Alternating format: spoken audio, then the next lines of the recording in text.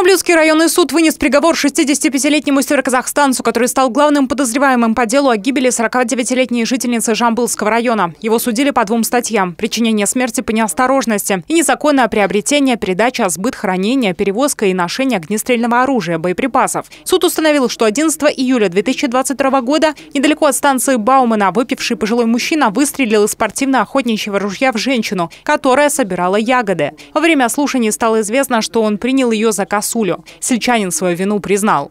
В соответствии с частью 2 статьи 58 Уголовного кодекса путем поглощения менее строгого наказания более строгим окончательно назначить Лосине Сергею Николаевичу наказание в виде трех лет лишения свободы с отбываем наказание в учреждении уголовно-исполнительной системы средней безопасности. Меры пресечения в отношении Лосини в виде содержания под стрель оставить прежний до вступления приговора в законную силу. Отдельно судья Мамлютского районного суда остановился на выплатах компенсации за моральный вред и взыскание материального ущерба.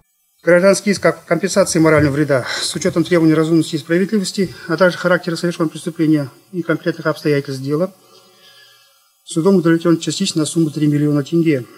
В части взыскания материального ущерба в размере 2 миллиона 500 тысяч тенге, заявленных гражданским институтом Сайловым, да, в этой части суд пришел к выводу, что иск обоснован, однако произвести точный расчет причиненного вреда не представляется возможным ввиду отсутствия необходимых документов, подтверждающих размер причиненного ущерба вопрос о разрешении данного э, размера данного ущерба суд решил передать на рассмотрение судом в порядке гражданского судопроизводства. После смерти 49-летней североказахстанки на скамью подсудимых попали два человека. Летом прошлого года по подозрению в совершении уголовного правонарушения, именно бездействия по службе, был задержан бывший участковый села Озерного Жамбылского района. Еще в июле 2022 года областная прокуратура предварительно установила, что он находился рядом с лицом, совершившим преступление. В этом деле суд еще не поставил точку. С сегодняшним приговором близкие погибшей женщины не согласны. Минимум 6 лет надо было или 7 лет.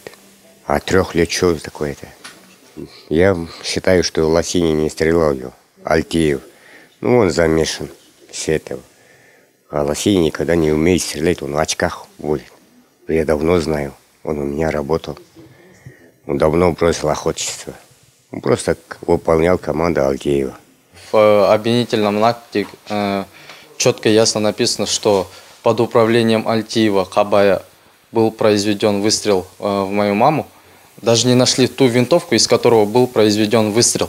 Им надо э, статью как бы за убийство дать, а не по осторожности. Родные погибшие намерены обжаловать решение суда. Дарья Пашмынцева, Александр Янсен, МТРК.